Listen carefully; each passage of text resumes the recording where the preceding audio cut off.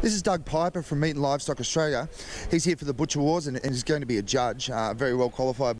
Mate, the Butcher Wars concept, obviously, this is, uh, I think, the fourth event of its kind. Um, now, Meatstock has a lot of elements, being barbecue wars, uh, bar wars, and butcher wars, and this is one of the popular ones. Mate, how do they judge it? What, how's the judging system work? Well, it's actually broke. The judging is broken down into four sections, and it's, it's all about speed and how efficiently they can break down their, their lamb and their pork.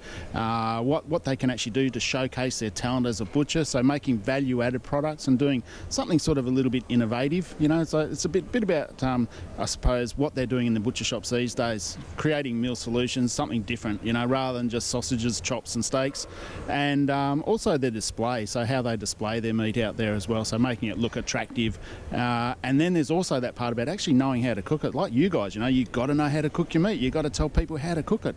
So that, that's basically in a nutshell what it's all about. And who are the competitors? Have we got amateurs out there, or a lot of these guys butchers and, and professionals, li- lifelong butchers in some cases? Yeah, they're all butchers. They're, they're, from, I think we've got a couple there from New Zealand, we've got a couple of guys from South Australia, uh, Melbourne, and Sydney. So it's pretty well just butchers from around Australia. These guys either own their own business or they're working for somebody uh, as a butcher in a butcher shop. So they're, they're very well uh, credited with coming to this competition.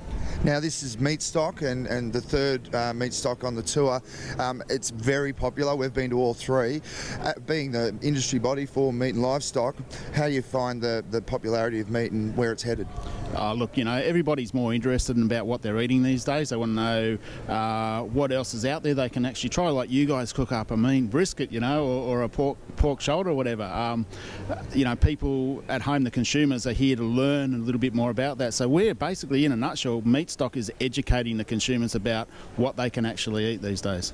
We're finding that too, and people are coming up to us asking, "What you know? What are you doing? How do you do it? What's that smoker? Where do you get it from?" So it is a real budget education for people. So good to talk to you, Doug. Thank you yeah, so likewise. much. Thanks a lot. Cheers.